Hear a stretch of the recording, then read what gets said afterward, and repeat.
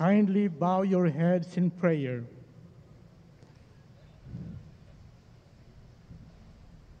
Sa ngalan ng Ama at ng Anak at ng Espiritu Santo. Amen.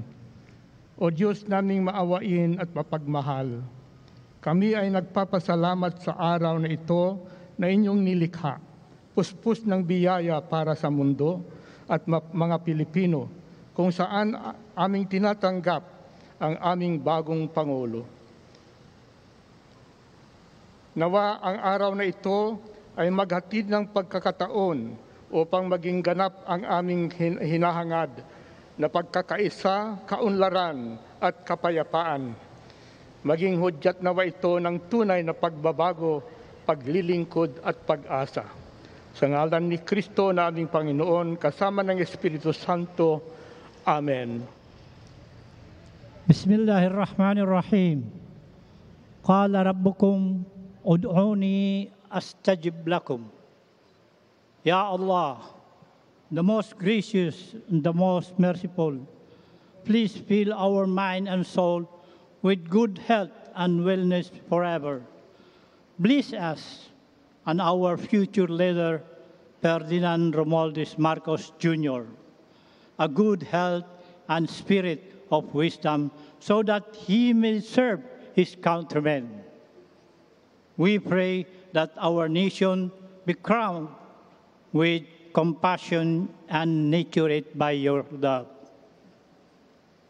ربنا اتنا في الدنيا حسنه وفي الاخره حسنه وقنا عذاب النار وادخلنا في جنه مع الابرار يا عزيز يا غفار Ya Rabbal Alamin.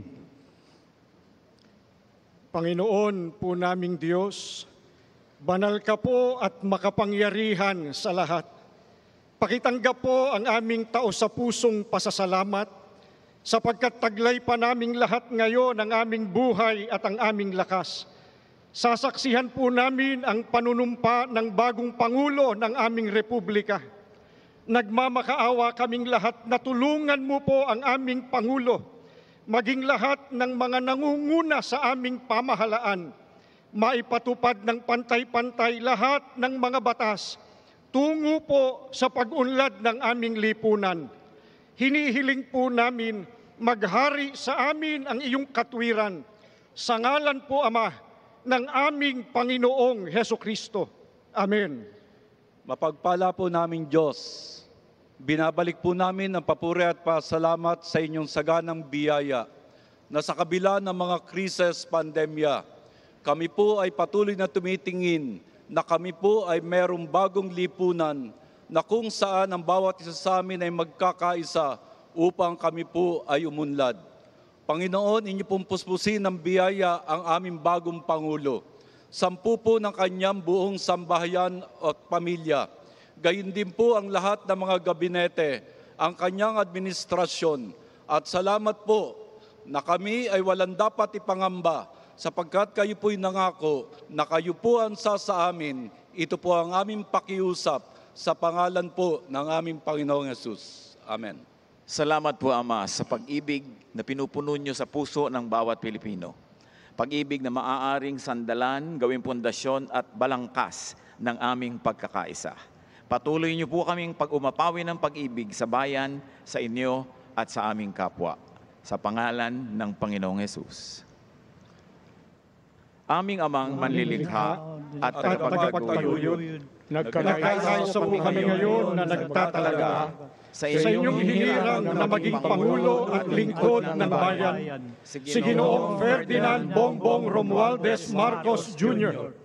Sa kanyang pamumuno at pamamahala, liwanagan niyo po siya ng inyong maningning na ilaw, kasihan at puspusin ng inyong banal na diwa, lapatan ng inyong mapagpalang kamay, pangunahan at akayin ng inyong makatwirang tinig, at patuloy na pagkalooban ng nag-uumapaw na pag-ibig at pagmamalasakit sa sambayanang Pilipinas.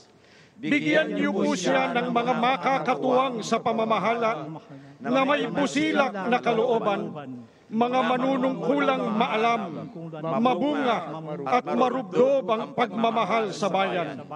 kami pong lahat na mamamayan ay patuloy ninyong gabayan na maging matapat sa aming mga tungkulin sa bayan para sa isang maunlad at nagkakaisang Pilipinas. Sa maiksing sandali po ng tahimik na pakikipagniig sa ating Ama sa Langit, ipabatid natin ang ating mga niloloob at pasalamat.